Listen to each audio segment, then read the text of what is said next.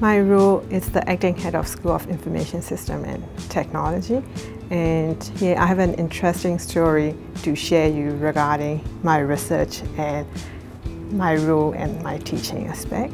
So my research is in health informatics area and then basically application of information technology in healthcare.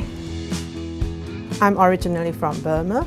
I completed my first degree, MBBS, medical degree in Burma. And afterwards, I work in Hong Kong, University of Hong Kong Queen Mary Hospital in the liver research project. And afterwards, I did my diploma in computer science in Singapore and master in computer information system in Thailand. And then I came here to Australia at University of Wollongong, completed my PhD in information technology. As a student in Burma, of course, like students' life, like you, wherever you are, you enjoy that. So it is a pleasant place for students to enjoy. And, but of course, like facility-wise, like we don't have that many. Like our library is very small and textbooks are like not that many.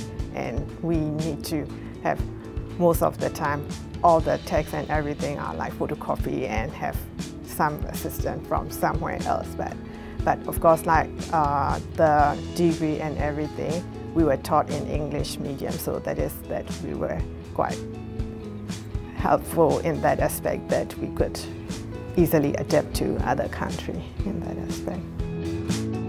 Since young, I'm interested in medicine and of course like having being a medical doctor you can help and assist people. So yeah, I would like to be a medical doctor. But at the same time, I really like teaching. So since young, I like to teach and I pretended to be teaching or, and I did tutoring to others when I was young. And so teaching also, my parents are academics, so I think I have that blood. So I like to be doing that and then here as an academic also, so I like that aspect.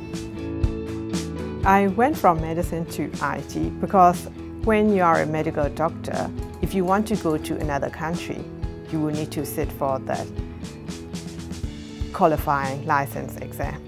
So at that time, because IT, when I finished my medicine and then IT was booming and especially for me from one country moving to another and I felt that if I do IT I can go anywhere. I don't need to worry about that. So therefore, I changed my career to IT.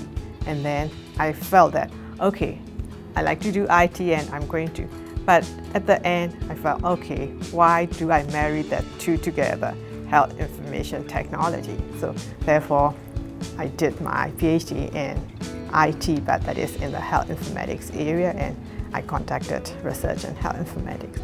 But I don't want to throw away my medicine also, so I did that license exam for Australian Medical Council certificate, so, so that qualified to practice medicine in Australia. So I did both aspects.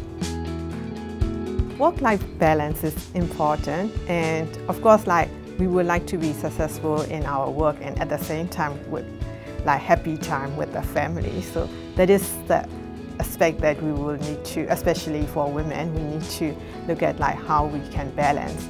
But of course, like um, you have your work time and then like family time that, for example, after work, okay, you have your dinner and then maybe a bit of your child time and then after the after your child sleep, okay, that is your time again to work. So that is like, okay, if you are determined to do that, you would be able to do that. So that is how I see. I would encourage students to study more than one area. Of course, when you are young, you think that, okay, what you would like to do in your life will be that, especially when you just finished from high school.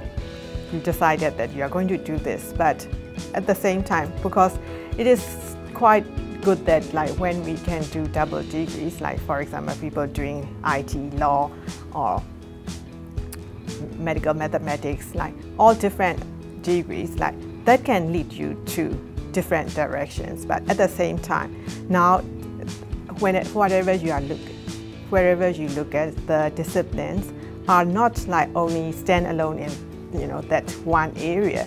You need to be able to integrate. You need to be able to understand both aspects from different areas. So multidisciplinary is the aspect, whether you in research or outside also industry. So having double degree would be a good option for students also.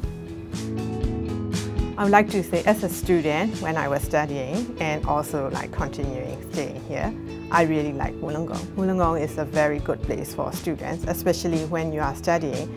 It is like you are studying and then your mindset, of course, like you would need to be concentrating on your studies, but at the same time, like you have ocean, sea, and mountain. Like you can look at from University of Wollongong, which like 10 minutes you can get to the beach and 10 minutes you can get to Mount Keira. So it is really a good place and the place that you can really enjoy. It is different from other places and also students here and also the university.